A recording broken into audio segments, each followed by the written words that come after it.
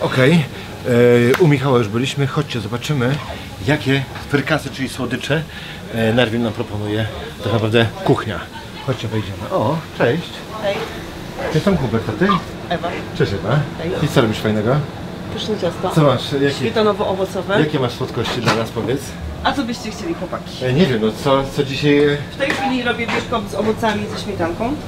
Biszkopt z owocami ze śmietanką, czyli widzę tu Owoce, brzoskwinia, gruszka, truskawka. brzoskwinie, a tu truskawka. I tutaj co? I to jest jakaś baza tego ciasta, tak? Tak, to jest biszkopt. To się nazywa biszkopt, okej. Kolejność, że najpierw tutaj smarujesz, warstwę tego Śmietany. śmietany, potem na to wrzucasz, rozumiem, jakieś owoce, Owoce. Ale mieszasz te owoce, czyli brzoskwinia, truskawka, to nie ma znaczenia, tak? W sensie, Znaczy w tej chwili robię tylko z brzoskwinią. Za chwilę będę robiła Aha. z truskawką. Aha, okej, czyli na przykład hipotetycznie to jest truskawka, to jest brzoskwinia Tak. i tak dalej, i tak dalej. No dobra. Wszystkie owoce są do tego. Rozprowadzamy teraz. Jak się to ustrojstwo nazywa? Szpatułka, Szpatułką. Zobacz, jak to pięknie robisz.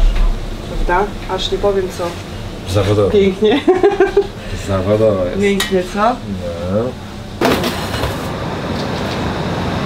Teraz jak ja pięknie rozkładam Zobacz, jak to składa. Jest tak pięknie. No i widzisz, ważne że to już, Nie żałujemy. no chcieliśmy to pokazać, jak to robisz.